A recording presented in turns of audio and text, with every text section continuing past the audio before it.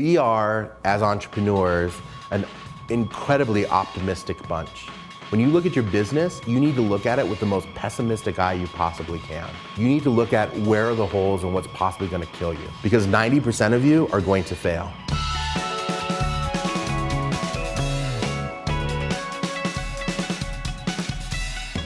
One of the things that's great about Micah is his brutal honesty. When we only have 13 weeks of a program, that direct approach is actually a really refreshing.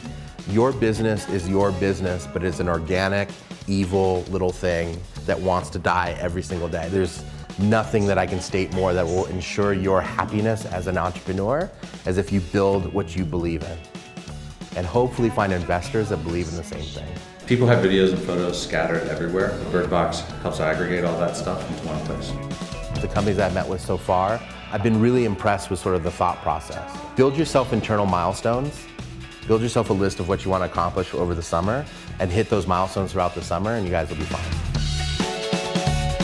If you look over this way, there's a big Jumbotron screen that our uh, Qdoba campaign is going to be on. Very shortly. We're very excited. We love the Rockies. You gotta love the Rockies. Just had Rockies dogs. In the sixth inning, if the Rockies pitch a strikeout, Qdoba gives away free chips and queso to everyone who texted in. First time we've seen it, we've done like five or six of these and we haven't seen it yet. But we've been consistently getting a lot of users from it, so I think the fans here like it too. Yeah. Her stuff is on the Jumbotron. That's awesome. That is amazing.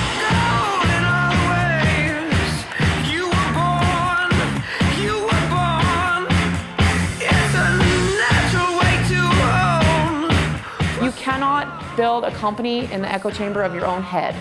You have to talk to customers. So what you're trying to do is get from assumptions and hypothesis in your head to truth. And the only way you can get to truth is by talking to customers. We're going to be joined today by Kevin Menzie, one of the founders of Slice of Lime. We have two services, uh, marketing websites and user interface design for web apps and mobile apps.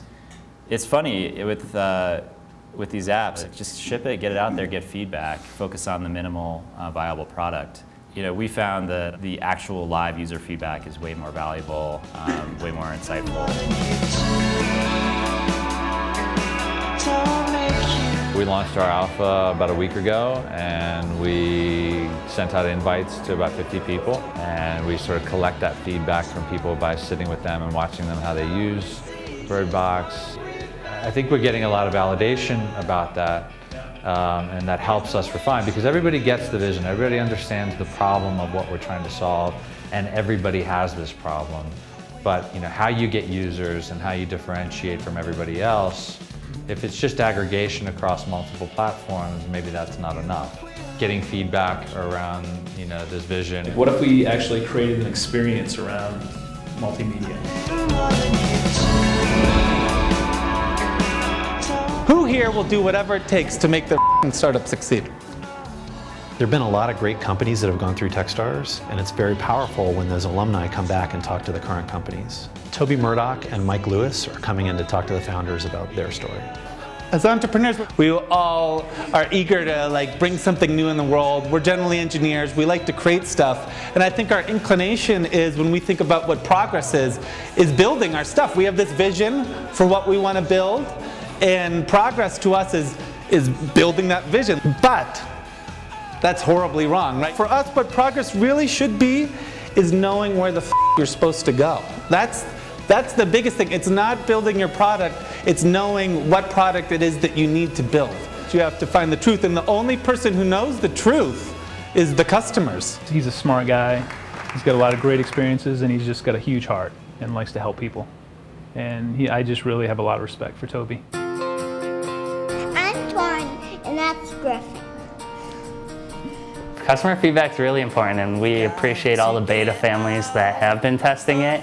Um, the more honest, the better for us. I like him to fight pirates. Fight pirates? Because that's one of my favorite things in the whole world. Oh, really? To fight pirates?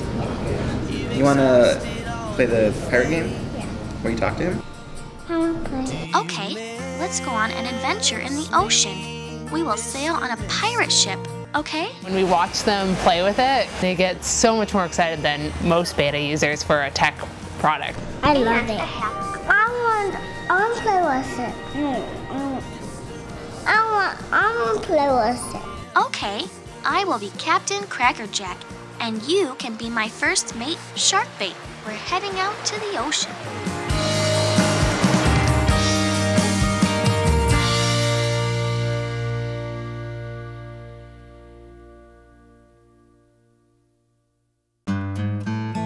Next time on The Founders. The process of creation is so powerful. We had a few concerns initially. If things didn't work out, we could move into the basement. You got to do something that you're passionate about. I love what I do. Like building software is just freaking awesome. This is David Cohen reporting for Techstars TV. Some rain in the forecast. It's David Cohen. Techstars TV continues tonight at 10 o'clock.